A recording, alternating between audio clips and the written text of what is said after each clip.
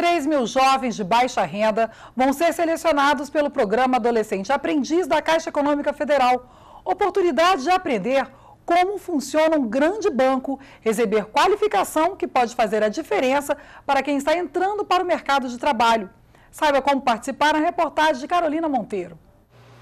Quase 17 mil jovens já participaram do programa Adolescente Aprendiz da Caixa Econômica Federal em nove anos. Entre eles está Paulo Henrique. Há um ano e três meses, ele trabalha no banco 20 horas por semana como auxiliar administrativo. A partir de agora eu consigo mais me relacionar com as pessoas, aprendi a trabalhar em grupo, aprendi a ser, como é que se desenvolve aqui o banco, como é que funciona cada coisa. E assim, foi realmente muito bom na minha vida. O adolescente aprendiz recebe um salário mínimo, vale transporte, vale refeição de R$ 5,00 por dia, férias e 13 terceiro.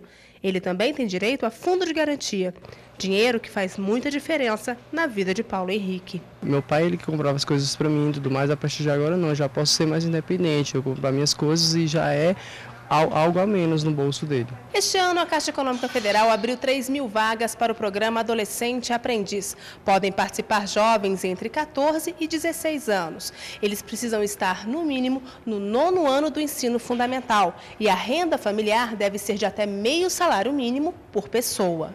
A contratação vai ser feita aos poucos, de acordo com a necessidade. O contrato dura 24 meses.